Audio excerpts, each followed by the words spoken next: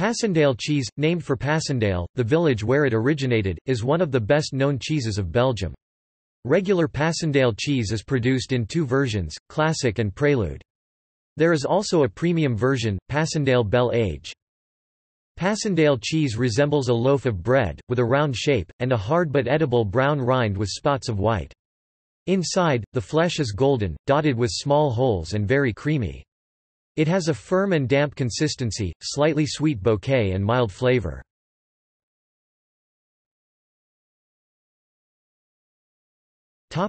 History The Donk family of Passendale started producing cheeses in 1932 with the cooperation of many of the area's milk producers. After World War II, the family began producing milk, butter and yogurt as well, and eventually relocated their business to a former brewery. In 1978, they launched De Groot Hof Grandeferme, a cheese inspired by local tradition. In 1980, it was renamed Passendale for export purposes. In 1991 the Camelco Group, owner of the company making Passendale, was bought by the Dutch Campina Company. The Bongrain Group, which bought the company in 2007, has become the second largest Belgian cheese producer.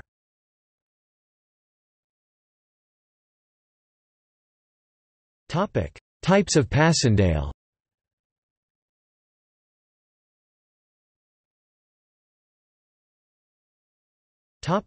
Classic and Prelude At the end of the ripening process, the rind of the Passendale Classic is brushed before it is packaged.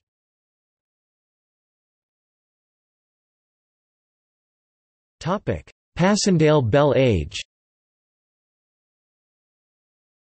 This special version of the cheese ripens for six months in the cellars of cheesemaker Passendale, and has a more distinguished taste.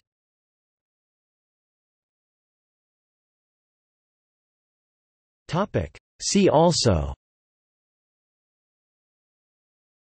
List of cheeses